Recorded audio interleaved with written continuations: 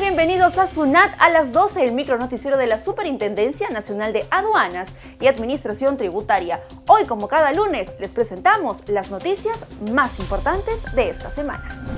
La SUNAT participó en el vigésimo primer foro Expopime, organizado por la Cámara de Comercio de Lima, en donde nuestro superintendente nacional Enrique Vera presentó los servicios digitales disponibles para los emprendedores y gremios del país. También recibimos a representantes de 23 aduanas de las Américas y el Caribe para participar en el taller regional Mujeres en Fronteras, Experiencias y Desafíos, que promueve la participación equitativa de las mujeres en la gestión aduanera.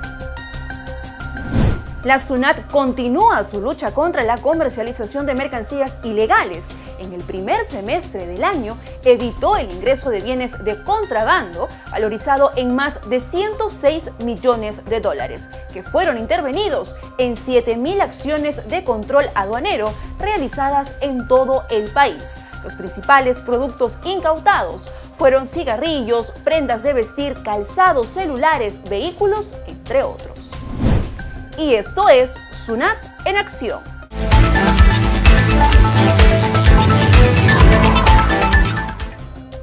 En Madre de Dios, el equipo aduanero de la SUNAT intervino un lote de 7.200 unidades de huevos de procedencia boliviana. Tales bienes ingresaron al país sin la autorización sanitaria correspondiente. Por otro lado, en Lambayeque se incautaron 2.778 municiones para fusil de asalto y guerra, camuflados en la cabina de un camión. Acciones de control por vía terrestre, aérea, marítima y fluvial no se detienen. Gracias por acompañarnos en Sunat a las 12 como todos los lunes al mediodía. No olviden seguirnos en todas nuestras redes sociales oficiales. Nos vemos.